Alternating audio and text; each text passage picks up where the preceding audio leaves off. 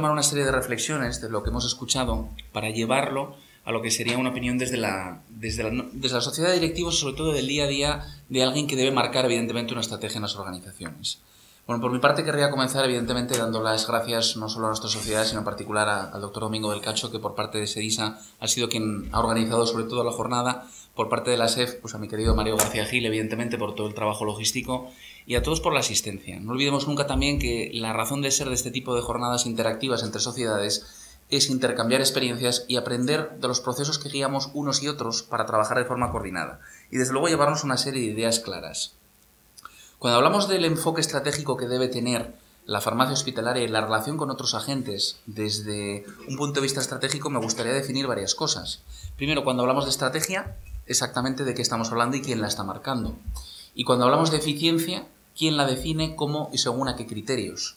Y creo que cuando estamos hablando precisamente del funcionamiento de un capítulo tan fundamental, no solo desde el punto de vista asistencial, sino también desde el punto de vista del cómputo de gasto o coste sanitario, evidentemente cabría reservar un espacio de mi intervención para definir quién marca las directrices y qué nivel de autonomía de decisión tenemos. Aquí tenemos una gran paradoja, que a nivel de la mesogestión, los, directivos de la salud, los directivos de hospitales, tenemos que desplegar muchas veces estrategias que otros han decidido. Eso es una cuestión inicialmente complicada. Muchas veces las políticas decisorias centralizadas evidentemente suponen una forma más eficiente en tanto en cuanto se gana volumen en determinados procesos de adquisición, pero se pierde la fineza o la peculiaridad de, desplegar esa estrategia en centros que evidentemente tienen sus peculiaridades. Por no hablar de la diferencia asistencial entre dos niveles tan complejos como puedan ser atención primaria y atención hospitalaria y ya no digo nada si vamos a la necesaria integración de la prescripción, dispensación y tratamiento farmacéutico en los centros sociosanitarios, comenzando por las residencias. En cuanto a estrategia, yo creo que eh, se ha avanzado mucho en la interrelación entre directivos sanitarios y jefes de servicio de farmacia. Incluso hemos mejorado la nomenclatura.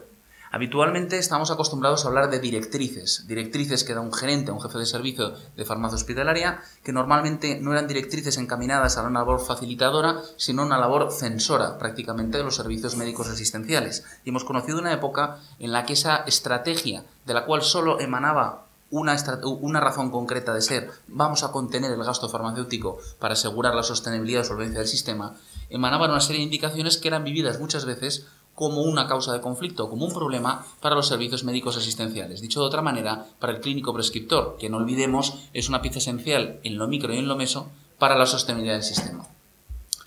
Cambiando directrices por estrategia, creemos que algo se ha avanzado y que se han elaborado planes estratégicos para la, eficiencia de la, de la gestión de la farmacia hospitalaria mucho más interesante. Pero lo que no cabe ninguna duda es que en algún caso, a ver si nos va a caer el techo, estaría muy divertido esto. Eso sí que es una foto y un vídeo, ¿eh?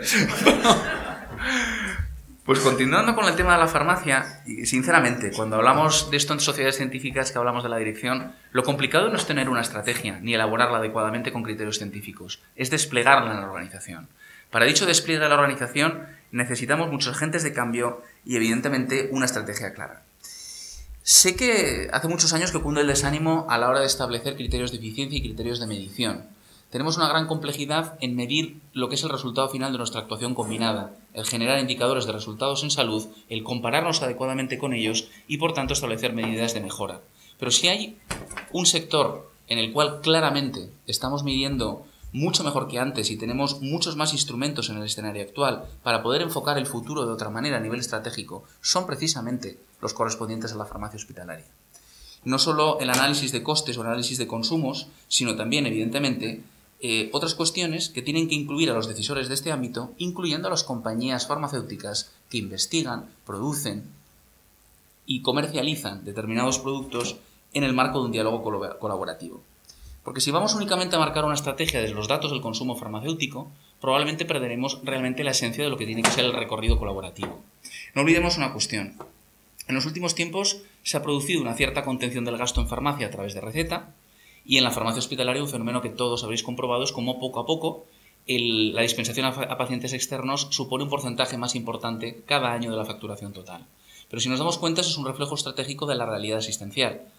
Si hacia un sentido tiene que caminar, evidentemente, el sistema sanitario y la acción en los hospitales, es, lógicamente, a intentar producir más y más procesos ambulatorios, a mejorar la atención eh, a domiciliaria y hospitalización a domicilio y por lo tanto que cada vez sea la atención a ese paciente crónico pluripatológico que supone el 75-80% del gasto sanitario total, también en, partidas de farmacia, a, través de el reto que supone prestar estos servicios adaptados a las nuevas necesidades de los pacientes en el setting que esto debería ser así. Por tanto, evidentemente, tiene que haber un nuevo modelo de gestión de los servicios de farmacia y este tipo de modelos tiene que venir a través de una respuesta estratégica. Porque si citamos estrategias, todos podemos citar las estrategias relativas a la cronicidad, pero ¿cómo se han desplegado? ¿Cómo se han implementado? Como decía Eleanor Roosevelt, aprendamos de los errores de otros porque no viviremos suficientes años para cometerlos todos. Y es cierto que tenemos poblaciones absolutamente estratificadas, eh, necesidades muy creadas, pero como se dice vulgarmente, el papel lo aguanta todo. La cuestión fundamental es cómo desplegamos esto a través de los, de los distintos servicios. ¿no? O sea, el planteamiento en realidad es que empezamos muchas veces la casa por el tejado, a la hora de desplegar una estrategia que sea realmente eficiente. Si planteamos el desarrollo de un servicio planteándonos qué servicio de farmacia necesitamos, en lugar de pensar cómo está cambiando el usuario al que debemos atender, probablemente construiremos las cosas en una forma inversa.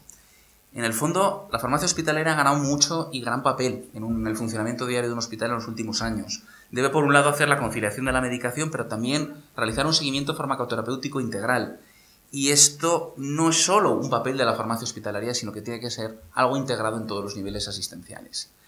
Y en realidad yo creo que para ser eficientes tendríamos un gran paso si consiguiéramos dos pasos fundamentales. Primero, integrar el modelo de crónicos en la farmacia hospitalaria, y segundo, una vez integrado ese modelo, ser capaces de integrar los papeles sociosanitarios creando auténticas organizaciones sanitarias y sociosanitarias integradas, buscando no solo una adecuada conciliación de la medicación, sino una auténtica trazabilidad a través de todos los dispositivos del fármaco que está tomando un paciente y por tanto de sus distintos consumos. De hecho, en el fondo, si para algo nos tiene que valer una estrategia basada en la eficiencia, es justamente para dejar de ser un sistema reactivo a ser un sistema proactivo. A día de hoy no nos olvidemos, es la realidad que nos encontramos, somos muy buenos en la atención a los procesos agudos, atendemos adecuadamente la demanda y servimos en un sistema tremendamente fragmentado. La transición estratégica tiene que ser forzosamente en este campo a un sistema proactivo que atienda la pluripatología, que es la reinante y va a ser todavía peor, nadie nos cabe duda, que sea centrado en el paciente, que atienda la necesidad y que sea un sistema coordinado.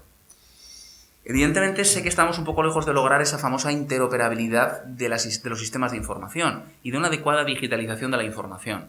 La digitalización no solo nos da más eficiencia porque nos da más rapidez, también universaliza y democratiza la, la información y realmente servirá para borrar de un plumazo determinadas pretensiones por parte de muchos profesionales, los médicos tenemos que incluirnos también en ello, para creer que somos absolutamente propietarios de la información o del proceso patológico de un paciente, en lugar de pensar realmente cuál es la atención que necesita ese paciente y cómo mejorar el intercambio de información.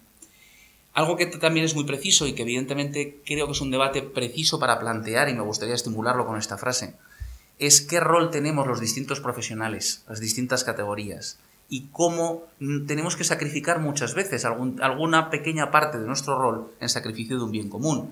Cómo se acuerda y establece el ejercicio de las competencias de cada profesional de manera diferencial, cómo tienen que cooperar e integrar las oficinas de farmacia comunitaria con las farmacias hospitalarias y cómo medicina y enfermería tenemos que ser también agentes para ello y por supuesto los directivos de la salud. Cómo optimizar y complementar las intervenciones que se produzcan, por tanto, sin producir duplicidades de servicios, que lamentablemente seguimos teniendo. Y por tanto, cómo maximizar los resultados en salud de los pacientes. Con ello, evidentemente, eh, lograr organizaciones sanitarias integradas que al mismo tiempo se integren a nivel de sistemas de información de acceso a la historia clínica, por ejemplo, residencias geriátricas. No solo nos va a suponer estratégicamente una mayor satisfacción tanto de pacientes como de profesionales, sino que también nos va a suponer un aumento de la eficiencia en el futuro. Simplemente eliminando duplicidades y triplicidades en la prescripción, en la coordinación de la, trazabilidad de la dispensación, sin duda alguna mejoraremos bastante. Hay una cuestión muy clara, hablando de la, de la trazabilidad o de la eficiencia desde el punto de vista de los directivos de la salud. Nosotros no buscamos ahorro, o no deberíamos buscarlo nunca más. Entre otras cosas porque para desplegar una estrategia en una organización y que sea eficiente, eh, hay que lograr con la participación activa de todos, y eso lo decimos mucho. Pero yo no conozco ningún farmacéutico de hospital que se sienta especialmente motivado si su gerente trata de transmitirle la idea de que tenemos que construir un proyecto cuya finalidad última es ahorrar dinero. Realmente casi todos nos ilusionamos por un proyecto y este no puede ser la base de ninguno constructivo. En el fondo, eh, no cabe duda que esto además se ha logrado. Se ha invertido la tendencia al incremento del gasto que veíamos en los últimos años. Y sin embargo, eh, esto se debe a la contribución de muchos factores. Primero, una política de adquisición más eficiente. Segundo, negociaciones centralizadas y las nuevas posibilidades que nos abre la ley de contratos. Y por tanto, eh, tenemos muchos motivos de satisfacción, pero hay uno que es fundamental. La reducción del coste y del gasto ha venido por una mejor gestión de la farmacoterapia por parte de los servicios. Sin el prescriptor tenemos poco que hacer y eso no siempre, eh, y eso no siempre se ve. Hay metodología, evidentemente, para, mediante la gestión por procesos, para crear y prever un futuro. Lo que sí que creo que necesitamos todos es una visión estratégica global y amplia que no siempre se consigue cuando estamos cada uno en nuestro distinto hospital. Hace mucho tiempo que en Sedisa citamos una frase que, que yo creo que merece la pena contemplar, ¿no? Cuando uno se cree gestor de la realidad, lo que hace es gestionar o, crear el presente. Cuando alguien es un directivo, su labor normalmente es prever el futuro. Pero necesitamos líderes en la sanidad para justamente generar nuevas estrategias, porque un líder es quien crea el futuro, no solo lo prevé. El empoderar a los jefes de servicio de farmacia hospitalaria, el que sea un agente facilitador y conector de la dirección gerencia con el resto de jefes de servicios asistenciales. El eh, analizar pormenorizadamente datos de consumo y, acciones de mejora de forma conjunta con los distintos jefes de servicio. Y si queremos citamos servicios clave porque suponen un 90% del coste muchas veces. Oncología clínica, hematología, medicina interna, digestivo, reumatología, dermatología. Y por tanto, buscar sobre todo la sostenibilidad mediante una receta muy sencilla. Esa debería ser la estrategia. Dejar de hacer determinados eh, procesos y dejar de, terminar, de, de adquirir perdón, determinadas moléculas que aportan bastante poco al paciente y a su recorrido, que aporta poco valor, desinvertir en ese sentido para poder invertir en innovación.